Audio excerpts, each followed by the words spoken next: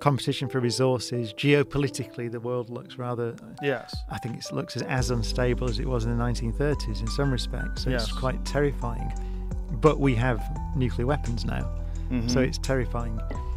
But uh, on the other side, as you said, we have not only AI and quantum computers, which are potentially profoundly powerful things, but also, you know, the, the rockets that we have now. I mean, reusable rockets. To me, we haven't talked about that, but I, I think it, it's an absolute game changer. Total. It is now the case that we can we have cheap and reliable access to space. We should play that video of them catching it because that is one of the most incredible achievements in human history. And you barely saw because Elon Musk, unfortunately, is so polarizing to some people, particularly now because of the political cycle that we're in, that you don't appreciate what SpaceX just did. It did one of the most extraordinary things ever. It, they caught a rocket that's bigger than a fucking skyscraper. yeah, caught you got it. the video.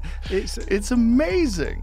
yeah, I think It's a this is this is- absolutely a, a feat of engineering that rivals almost anything human beings have ever done. yeah, this is really important. This is so incredible. I think we'll remember that in uh, future generations will remember that. I 'Cause that- thought that it is- was CGI.